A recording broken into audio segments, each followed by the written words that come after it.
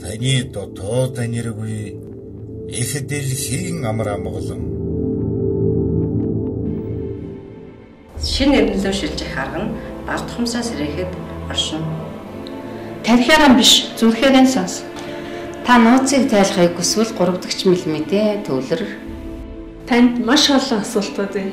Хариултыг нь хамтдаа олцгоё. Хүн бол бяцхан сансар, цэвэр ариун ухамсар юм.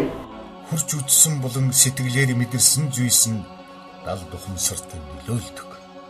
Та ухамсарлахгүй байж болох ч амьдралын маш олон үйлдэл, дадал, зуршил, бодол, санаа дал тухамсраас үүдэлтэй.